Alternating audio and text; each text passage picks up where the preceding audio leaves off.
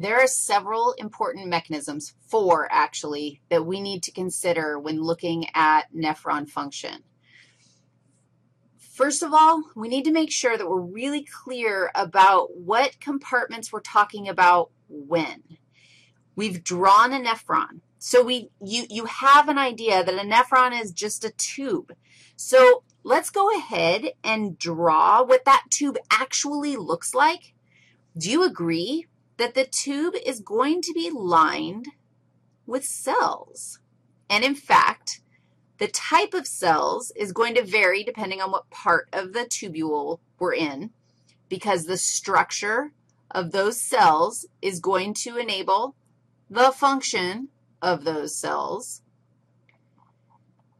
Sometimes, no, all of the time, the cells lining the nephron tubule are epithelial cells because they're lining spaces. Do you agree that I could draw in like a little opening of my tube? And, and then this could be any part of the nephron at all. Do you agree with that? And here's my lumen of my tube. And this is where my pre-P is. And then do you agree that the tubule is associated with a blood vessel? But let's draw a blood vessel, doggies, because we know that blood vessels are lined with simple squamous epithelium. And that was the whole endothelial layer of my blood vessels. And these are all capillaries that we're talking about. So they're really, really thin. And you're cool with this. That's a little bit of a wonkier wonkiness. Wonkiness happens every now and then, but just a different structure. We're cool with this, though, right? inside my blood vessel, we can just visualize that, yeah, this is what's going to be in here in the lumen of the blood vessel. I know it might seem obvious to you, but dogs, there's blood in here. What's inside the nephron tubule? It is not urine, and it is not blood. Bloody hell, it is not blood. It's called filtrate. And you can call it filtrate because that's what it's called. You can think of it as pre-P. It's not urine yet. It's filtrate. It's different. We're going to do some stuff to it. And then, of course, if we're going to move stuff between the blood and the filtrate and back again, we're going to have to cross an interstitial space. And there's fluid out here as well. These are the three compartments that become significant when we look at how this whole process is going to work. Now, if we take stuff from the blood and we move it into the nephron tubule, we take blood stuff and make it into filtrate. That is called filtration. You're cool? Filtration, if something is not going well, you could filter out blood cells, but most of the time, the blood cells stay in the blood vessel. But how many layers of cells did we actually have to cross? We have this entire layer of endothelium for the blood vessel that we had to cross. We have to cross all this interstitial space, and then we have to cross another layer of epithelial cells to get into the lumen. Sometimes filtration gets stuff out that we want back. And so sometimes we can reabsorb stuff into the blood. Apparently, that was a more difficult direction to draw my arrow. If we move something from the filtrate into the blood, this is called reabsorption. Reabsorption. They're the same essential process in opposite.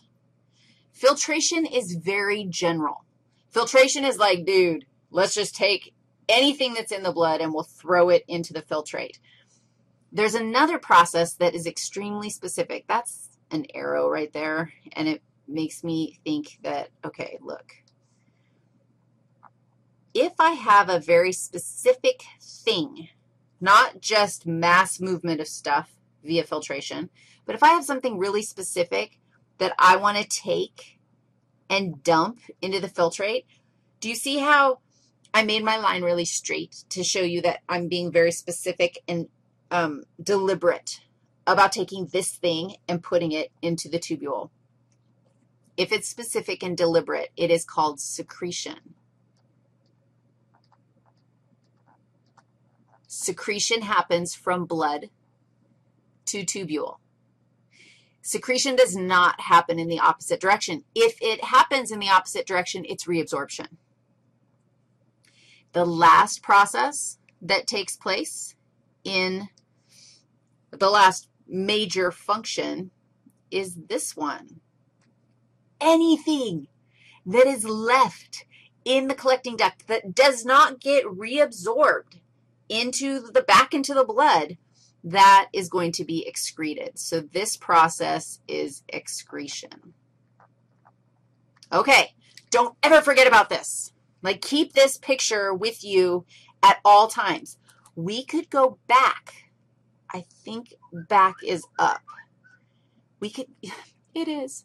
We could go back to our, no, I want the one that has the blood vessel on it. We could go over here, and I could say to you, okay, doggies, I want to know, I've got something here, and I make it go there. It started in the descending loop of Henle, and now it is in the vasa recta. What did I just do? That's reabsorption. Do you agree? We just reabsorbed it into the blood. If I have something here in the glomerulus, oh, and now it moves into the uh, nephron, that is filtration. If I have something very specific, I'm going to throw my color in there. Here's my very specific thing that I am very specifically dumping, secreting into the nephron. That's secretion. Look at this. What if I take um, something from here and take it this way? Look, my arrow's in the opposite direction, but I'm going from filtrate to blood. That's reabsorption. The reason why I'm showing you that is because I don't want you to forget that the direction matters. Look at this. What if I go from here out? If that ultimately, hopefully, will be reabsorption.